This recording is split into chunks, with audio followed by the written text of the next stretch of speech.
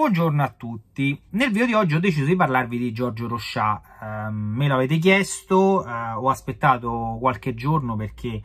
volevo essere pronto nel trattare un tema così delicato, eh, io non ho avuto il piacere di conoscerlo, eh, l'unico contatto che ho avuto con lui è stato uno scambio di email anche piuttosto rapido, mi ricordo che una decina di anni fa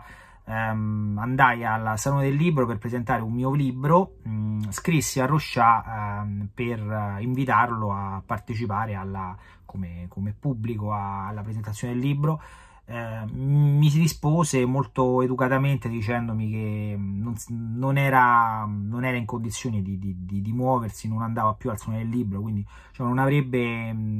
aveva, aveva apprezzato il mio invito, ma diciamo che non era nelle condizioni per per esaurire eh, la, mia, eh, la, mia, richiesta. Poi non ho avuto più occasione di vederlo o sentirlo, cioè in realtà appunto ripeto, non ho mai avuto eh, contatti con lui, ma semplicemente perché non frequentavamo gli stessi ambienti, diciamo che ehm, seguivamo anche percorsi, ovviamente oltre ad essere generazioni diverse, ma diciamo non, non essendo io all'epoca un accademico, in realtà non lo sono neanche ancora adesso, diciamo, le mie attività all'università sono abbastanza diciamo, defilate rispetto a, a, al mondo che, eh, che, conta, diciamo così. Ma ripeto, eh, è sicuramente stato un personaggio che ha segnato anche la mia formazione, indipendentemente, ripeto, dal fatto di non averlo eh, mai eh, frequentato, ma sicuramente eh, la, il suo apporto, la sua, ehm, la sua opera molto vasta eh, di storiografia militare, non solo, ha, ha rappresentato anche per me eh, un, uh, un, un, fondamento, un elemento fondamentale per la mia crescita, mh, la mia crescita culturale.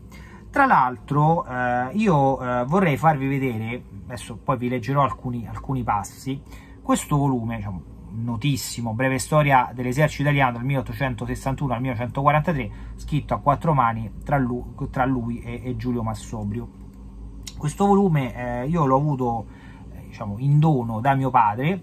eh, che eh, lo comprò in, in una banca, cioè bancarella, in un invito alla lettura che erano, diciamo, lo fanno ancora adesso, sono delle, delle, eh, delle, diciamo, delle manifestazioni estive, in genere so se lo fanno ancora, facevano alla, intorno a, a, Castel Sant'Angelo, c'erano una serie di stand di, di, di, gazebo in cui appunto offrivano diciamo, a prezzi diciamo, scontati volumi remenders o comunque volumi che non avevano avuto diciamo, fondi di magazzino e, e varie cose diciamo, che venivano offerti appunto come invito alla lettura, cioè l'occasione per, per allargare un tale pubblico. E questo volume che come prezzo di copertina aveva 15.000 lire, c'è anche lo scontrino, vedete un po' lo, cioè, negli anni poi l'ho lasciato qui per una questione anche affettiva, vedete 19 luglio 94, cioè il prezzo alla metà 7500 lire, quindi diciamo che abbiamo scontrino fiscale, diciamo, sembra, sembra, una cosa taroccata, però c'è anche il bollino del Ministero delle Finanze, diciamo che uno scontrino a tutti gli effetti, nonostante siano passati eh, oltre, oltre 30 anni. Quindi questo è stato un libro che io eh, ho consumato, possiamo dire, è stato anche un elemento molto importante per la mia formazione, mi ricordo che ho avuto modo di, um, di, di, di leggerlo e di approfondirlo in occasione del mio esame eh, di storia militare, nonostante poi avessi altri, altri volumi eh, diciamo, da programma, però questo mi ha dato sicuramente una, una uh, chiarificazione maggiore. Ehm, poi di, di Rochat non posso che citare questo eh, volume ehm, monumentale, scritto anche questo a quattro mani con Piero Pieri, ehm, su Badoglio, la prima parte è scritto da Pieri, il secondo da, da Rochat, che è un po' una pietra miliare de, degli studi, non solo su Badoglio, ma in generale, e poi quello che reputo, secondo me, il libro più importante, ripeto, secondo me, magari parlate con 500 altre persone e vi diranno che gli studi sulla prima guerra mondiale, su altri temi, sulla, sulla seconda, eccetera, ma secondo me il libro che per me è stato un'ispirazione è stato questo, L'esercito italiano da Vittorio, da Vittorio Veneto a Mussolini. E ho deciso di leggervi eh, le eh, premesse non solo di questo, che è un'edizione del 2006, se non vado errato, eh, esatto, ma soprattutto quella del 67 che sono riuscito a recuperare in biblioteca e quindi vi ho fatto le fotocopie che è pressoché introvabile. Allora, è interessante perché c'è un uh, confronto anche con uh, la prefazione, la, la premessa del, dell'edizione del 2006. Allora, però, prima di leggervi le due, eh, le due premesse, vi voglio leggere la prefazione alla prima edizione scritta proprio da Pieri, e diciamo che era precedente a questo, a questo lavoro qua, perché questo lavoro qua sarebbe uscito nel 70, adesso ve lo dico, nel 74, 74, quindi questo è di 50 anni fa, mentre la prima edizione dell'Italia, eh, scusa, l'esercito italiano da Vittorio Veneta a Mussolini è addirittura del 67. quindi la prefazione di Piero Pieri del 67. Quindi, diciamo, Rochat era un gi giovane ancora storico, diciamo, era stato appunto allievo di, di Pieri e, e, quindi ne aveva poi tratto una sorta di eredità. E l'eredità di Rochat non so chi può recepirla, mm, ci possono, ci sono dei vari, dei vari, pretendenti, non so a che livelli, non, ho, non posso dare giudizi in, in merito. Sono particolarmente lieto di dover esprimere il mio pensiero sopra un lavoro che, che, che non solo fa onore all'autore, ma mostra il vivo desiderio delle nuove generazioni di giungere a una sempre più profonda comprensione del nostro più vicino e incombente passato e soprattutto dell'agitato quadriennio 1919-22 che ebbe quale risultato l'avvento del fascismo nonché dei tre anni immediatamente successivi che videro il consolidarsi della dittatura. Non disdegnando l'esame di alcuni aspetti della nostra vita politica e sociale finora quasi del tutto trascurati, fra cui quello delle nostre istituzioni militari, viste come risultante di queste ed elemento a sua volta agente e premente su di esse. Argomento a prima vista di mediocre interesse, pesantemente arido e certamente meno brillante e avvincente che non lo studio e l'esposizione di brillanti campagne di guerra e di battute famose, questo è il, eh, siamo nel 67, è un momento anche di svolta dal concetto della storia militare come histoire battaglie, come mh, narrazione, come analisi dei fatti bellici, delle cannonate, a fare un discorso anche più organico sulla struttura organizzativa, eh, sulla politica militare, anche in relazione ad, altre, ad altri settori della storia, come può essere la storia economica, la storia diplomatica, la storia sociale. Quindi diciamo che siamo nel 67, diciamo che l'anno dopo sarebbe successo qualcosa anche a livello di approccio culturale rispetto a un, uh, un sentimento molto più tradizionalista, molto più istituzionale, e per istituzionale intendo le battaglie per quanto riguarda la uh, storia militare. Ehm, ma ricco di attrattive e di risultati solo che si sappia affrontare e perseguire con la necessaria larghezza di vedute. La storia militare, infatti, affonda le sue radici nel terreno delle strutture politico-sociali, eh, di cui le istituzioni militari sono un'espressione palese e non solo in quello che la guerra con i suoi eserciti, le sue armi, le sue molteplici esigenze, i suoi metodi di condotta appare quale la risultante della civiltà nei suoi diversi aspetti attraverso i secoli. Ma questa relazione, che a prima vista può sembrare ovvia, si manifesta in realtà in modi spesso tutt'altro che palesi, quasi sottilissimi fili per dirla con Clausewitz, che dall'organismo politico-sociale eh, penetrano in, tutte, in tutta l'organizzazione delle forze armate e nella stessa loro attività in guerra. Quasi come una sottile e diffusa innervatura, dunque, che anima tutto l'organismo ma che non è facile eseguire automaticamente. Non solo, ma le forze armate, espressione delle condizioni politico-sociali di un paese, influenzano a loro volta direttamente o indirettamente con il loro costo e con la, lo, con la stessa loro esigenza eh, l'attività e la politica di uno Stato e questo più che mai oggi che i problemi militari sono per tre quarti almeno problemi dell'industria e della tecnica civile. Sempre più de- desiderabile, quindi, anzi ognora più necessario, che l'opinione pubblica si interessi dei problemi militari che non sono per nulla esclusivi di una data casta o di una data professione, ma riguardano strettamente tutta la nazione e più che mai la sua classe dirigente e, gli interessano sia nei riguardi della sua politica estera che della sua politica interna e della sua economia, che quanto dire del suo avvenire. Mi sembra un discorso che a distanza di eh, 57 anni eh, sembra ancora per alcuni un elemento di miraggio, nel senso che mh, la storia militare è stata ormai, almeno in alcuni ambienti, sdoganata come una, um, una, una tematica, eh, una disciplina storica eh, che non è legata a sono un militarista, voglio, sono un, un, uh, un guerrafondaio. No, io ho l'interesse per la storia militare perché mi racconta, mi spiega determinate dinamiche delle forze militari, ma anche di tutto quello che eh, ci circonda, anche a livello politico, sociale, economico, eccetera, eccetera. Ehm, che si tratta in sostanza del grande problema della sicurezza esterna ed interna dello Stato da ottenersi nel modo migliore attraverso un intelligente e oculato impiego dei mezzi di ogni specie che valgono a costituire il potenziale bellico di una nazione. Problema grave e che in realtà non è nuovo e fu sentito a più riprese anche in Italia dopo il 1849, specialmente quando si trattò di ricostituire l'esercito piemontese e trarre sul, sul serio dal regno subalpino tutti gli uomini e i mezzi utilizzabili per la prossima nuova grande prova. E la questione fu ribattuta largamente nel Parlamento e nella stampa e di nuovo nel 1859-60 allorché si presentò il grande problema della creazione dell'esercito nel nuovo regno d'Italia. Ovviamente Vieri che aveva scritto la storia militare del risorgimento non poteva che trovare linfa vitale in questi discorsi. In entrambi i casi si erano trovati di fronte gli elementi professionisti conservatori da un lato e i democratici dall'altro, fidenti gli uni unicamente nelle forze regolari, disciplinate, addestrate, pervase da, del fatidico spirito militare, e gli altri, al contrario, delle forze occulte dell'anima popolare e non in memoria delle belle prove della Landwehr prussiana e in generale dell'apporto popolare eh, alla guerra delle nazioni del 1813-14 ma in, est- in, entrambi i casi i democratici avevano mostrato come fossero nell'insieme impreparati a sostenere con un preciso e valido programma e proposte concrete i loro ideali e a farli prevalere non solo di fronte all'altezzosa sufficienza dei generali, forti della loro preparazione specifica e della loro esperienza, ma pur anche di fronte alla massa pavida e, mi- e misoneista dei moderati e dei ben pensanti, nonché dei, privile- dei privilegiati esenti dall'onore del servizio militare.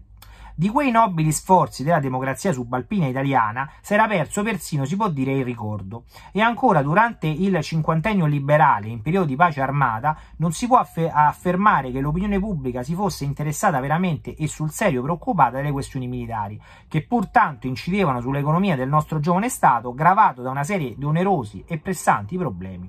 In realtà si era oscillato fra l'antimilitarismo vacuo e parolaio degli elementi di sinistra e il fatuo parlare e scrivere dei soliti strateghi da caffè da un lato e, l'ar- eh, e l'arretrare dall'altro lato come pervasi di sacro terrore di fronte ai problemi militari, quasi si fosse trattato di una scienza arcana di un piccolo numero di iniziati. Né, primi, né, il primo timido esperimento di un ministro borghese della guerra e neppure l'impresa libica erano valsi a interessare sul serio l'opinione pubblica, la quale si era mostrata imperturbabilmente incapace di esercitare sulle forze armate quel controllo che sapeva esercitare sulla politica estera, sui lavori pubblici, sulla magistratura e la scuola. La durissima prova della guerra 15-18, vinta dal popolo in armi guidato dalla borghesia in armi e sentita per la prima volta dall'intera nazione come vera guerra totale, che prendeva suo nel suo vertice, assorbiva e impegnava direttamente o indirettamente tutta quanta la popolazione e tutte le forze vie del paese, parve suscitare una coscienza nuova e soprattutto poi fra gli ex combattenti il desiderio diffuso che la, la loro grande e onerosa esperienza non andasse perduta. Che l'esercito dell'Italia vittoriosa fosse uno strumento nuovo, efficiente, dotato del necessario armamento, con un nucleo non numeroso ma ben selezionato di ufficiali di carriera e il resto di ufficiali di complemento, un esercito che sapesse usufruire il più possibile delle risorse industriali e tecniche del paese con una sola classe chiamata per intero, alle armi e soggetta però a non infrequenti richiami. Un esercito, insomma, che libero dalle onerose e inutili sovrastrutture parassitarie, distra- distraenti troppi soldati e troppi ufficiali dai loro compiti essenziali, fosse bene al corrente delle continue trasformazioni delle armi e dei mezzi tecnici e rappresentasse per davvero una sicura difesa del paese. Quindi cercare una via di mezzo tra l'esercito, la nazione armata e da un'altra parte uh, l'esercito vecchio stile, quello di, di, di professioni, professionisti, no? quello che era quello francese per capirci. Fra l'armistizio del novembre 18 e il, ras- il rassodarsi della dittatura fascista del 25, si ebbe dunque, come non mai in Italia, nei riguardi del problema militare, una fioritura di pubblicazioni grandi e piccole e articoli su riviste e giornali e discussioni al Parlamento, e nei comizi, nei ritrovi e raduni di ex combattenti che si intrecciarono e si mescolarono spesso, specialmente nei primi due anni, con tutto il tumultuoso e caotico svolgersi della vita pubblica scossa e agitata da una serie di problemi gravissimi quali la smobilitazione, il riassorbimento degli smobilitati nelle funzioni della vita civile, mentre le industrie erano in crisi per l'improvvisa cessazione della mobilitazione industriale, il rincaro pauroso della vita, le agitazioni operaie col miraggio della rivoluzione russa e la speranza messianica di un ordine nuovo, le difficoltà di giungere a una giusta pace che rappresentasse il vero coronamento della guerra vittoriosa in un'Europa rigenerata e già scossa invece dal dilagare sfrenato dei diversi nazionalismi ed egoismi. Questo l'argomento preso a trattare, dietro felice e autorevole suggerimento di Ferruccio Parri, dal nostro Giorgio Roscià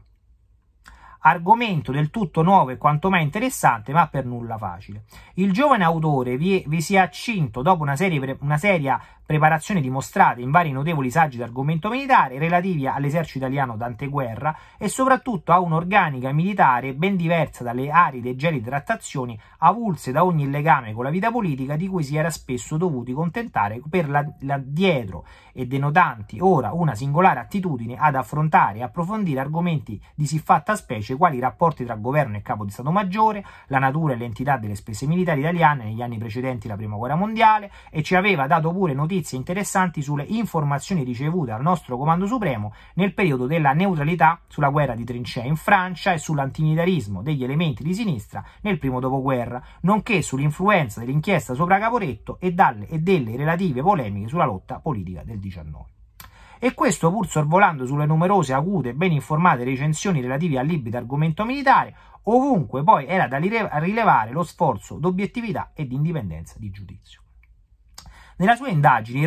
si è valso soprattutto della numerosa pubblicistica dell'epoca, ma ha pure compiuto indagini in archivio e ha utilizzato materiale inedito e ha sfruttato la memorialistica con ampia in verità, con, con non ampia in verità relativa al periodo 19-25 e l'ancora meno vasta bibliografia quando eh, si voglia parlare di lavori di un certo rilievo. Di studi del genere non poteva valersi che di qualche nostro scritto, del pregevolissimo saggio del Pischedda sulle riforme militari in Piemonte nel 1848-59 e del sempre fondamentale lavoro, anche se ormai di 35 anni fa, del pubblicista Montaigne, Montaigne, Montaigne sull'esercito francese dal 1815 al 30 ehm, al 1815 al 1930 ed egli ha sviluppato con felice intuito quanto in tali lavori rappresenta un indirizzo nuovo e ci ha dato un, un libro originalissimo e tale da fare onore ai nostri studi storici. Nel nuovo lavoro vediamo agitato il mito eh, della nazione armata, ma ancora una volta, pur dopo la grande esperienza collettiva della Prima Guerra Mondiale, appare la mancanza da parte dei ceti colti italiani di una adeguata preparazione a tradurre in atto quanto del mito poteva diventare elemento sostanziale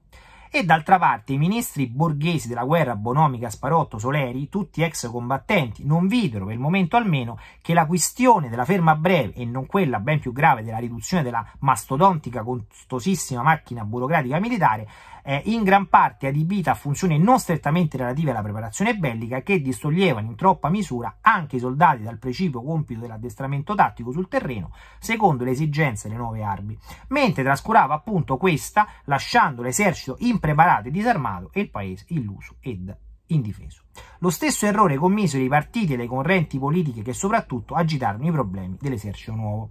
Il Rochat ci dimostra poi come anche i partiti di estrema sinistra non abbiano mai avuto una vera politica militare, considerando l'esercito un'istituzione borghese ed aspettando lo sfasciamento del regime capitalistico per affrontare il problema dell'esercito russo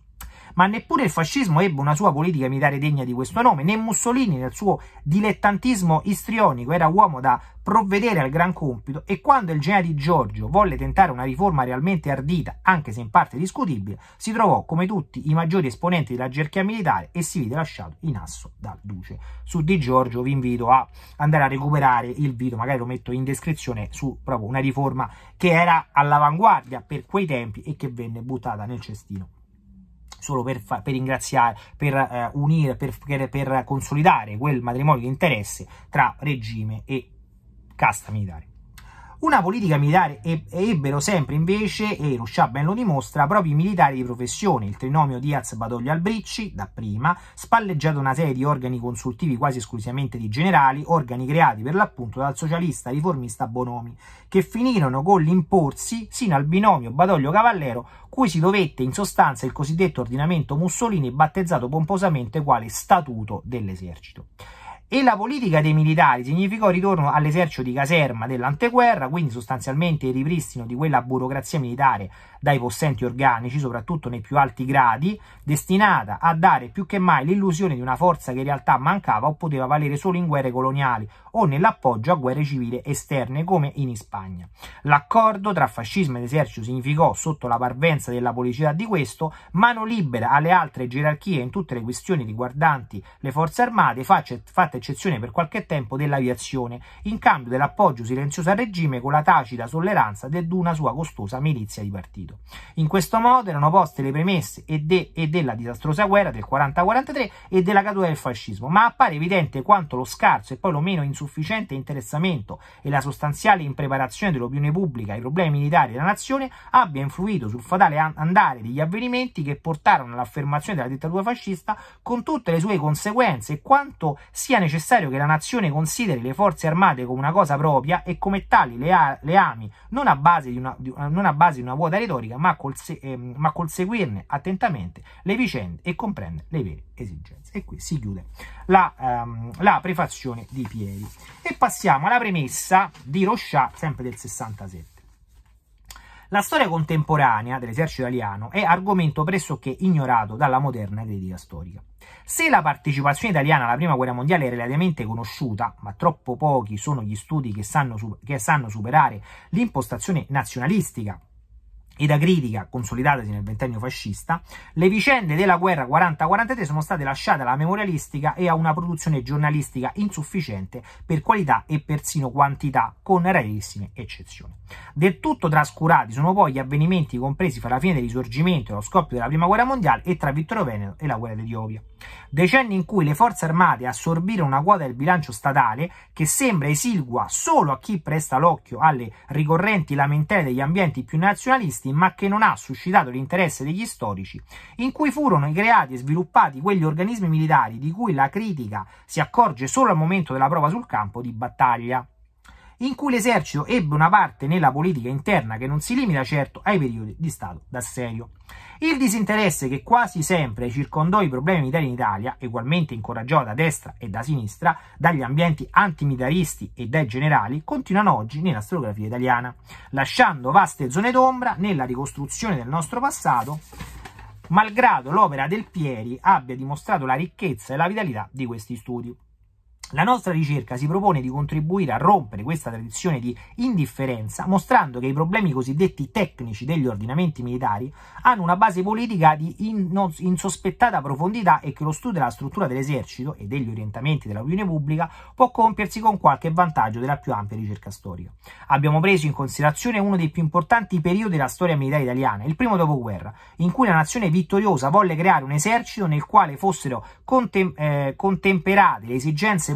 e finanziarie dello Stato e le esperienze della guerra mondiale. Periodo estremamente interessante, l'unico della storia dell'Italia unita in cui i problemi militari furono largamente sentiti dall'opinione pubblica e dibattuti sulla stampa politica. Questo nostro lavoro abbraccia gli anni che vanno dalla fine della guerra al definitivo assestamento dell'esercito e alla contemporanea affermazione di una politica militare fascista, non va più nelle parole che negli atti, non si tratta però di una vera e propria storia dell'esercito italiano dal 19 al 25. Troppe sono le lacune e gli interrogativi rimasti nelle nostre pagine. Problemi fondamentali non sono stati affrontati. Basterà citare la liquidazione del materiale bellico, in cui scomparve un numero imprecitato di miliardi, le opinioni politiche degli ufficiali, la creazione e lo sviluppo della milizia fascista, l'antimilitarismo delle masse socialiste. Marina e aviazione non sono state prese in considerazione. Anche gli, or gli orientamenti della dottrina militare nel dopoguerra e la cultura degli ufficiali sono stati trattati solo di sfuggita.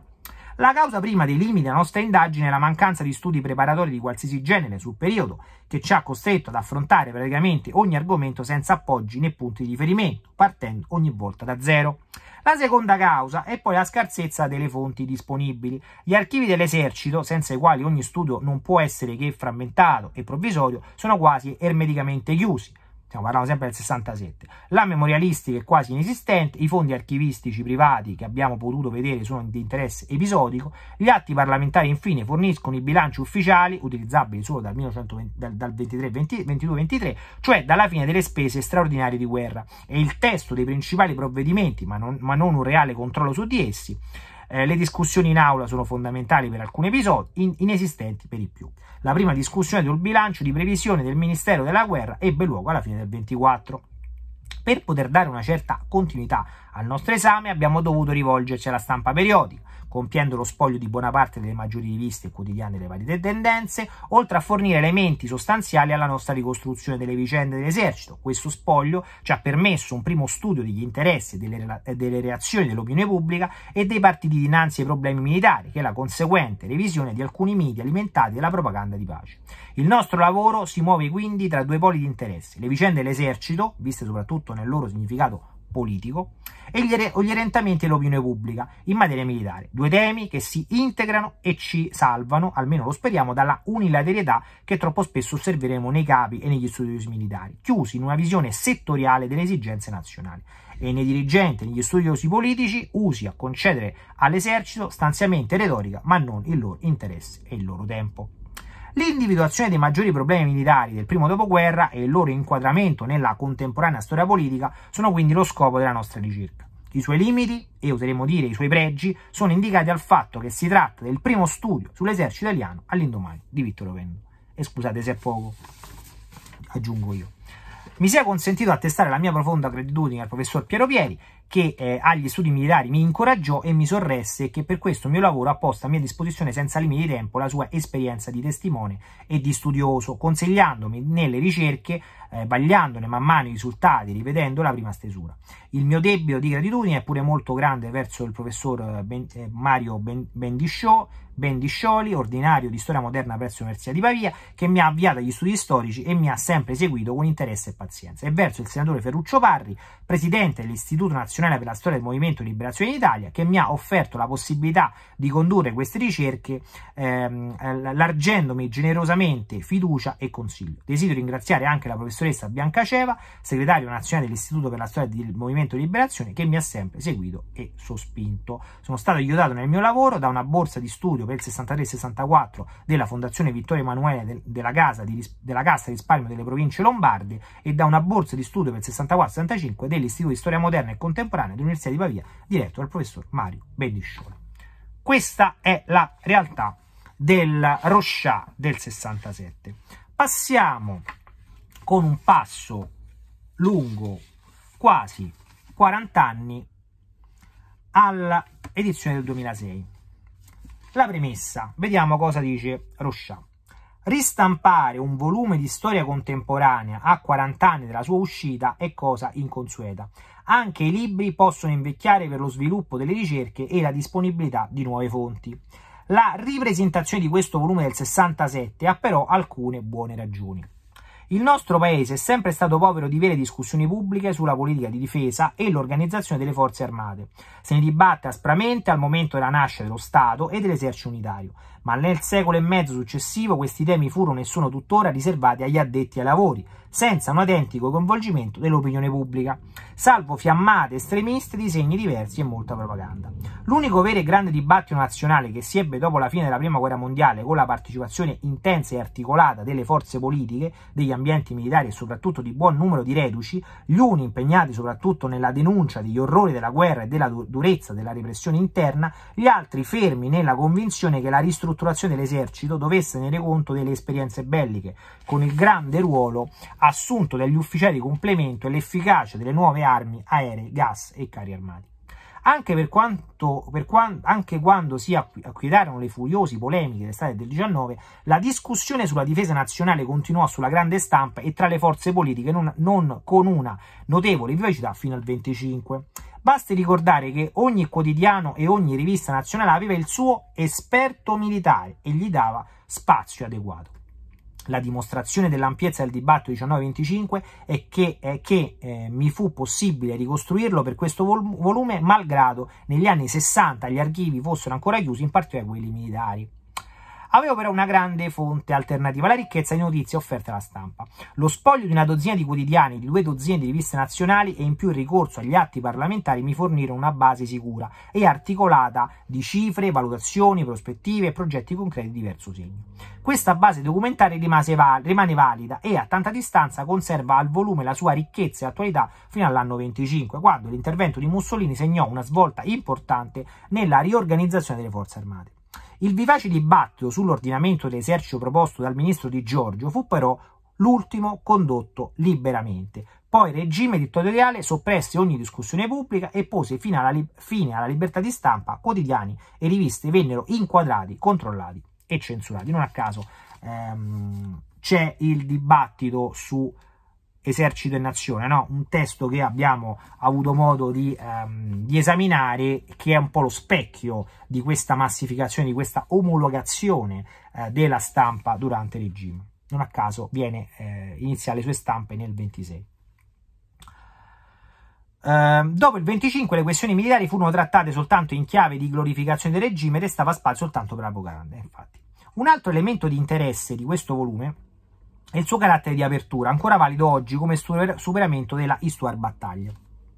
Che ho detto poco fa, no? La visione tradizionale della storia militare come narrazione di grandi battaglie e episodi di valore, cariche di cavalleria, assalti alla baionetta, belle uniformi e fangose trincee.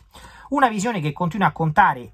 e interessare. La ricostruzione dei combattimenti è essenziale, ma costituisce soltanto una, un versante della storia militare, cui non mi batto su questa cosa. Molti dei miei libri non sono sulle battaglie, ma sono sul contorno, su quello che accade prima e dopo, su quello che determina la sconfitta o la vittoria.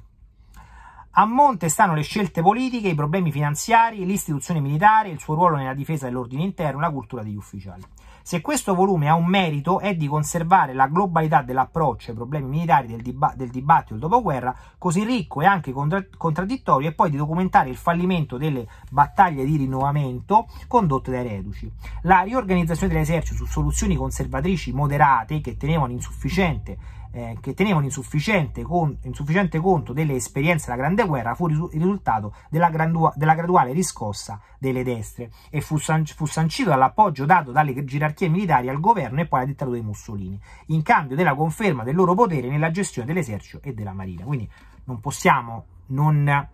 ragionare sul fatto che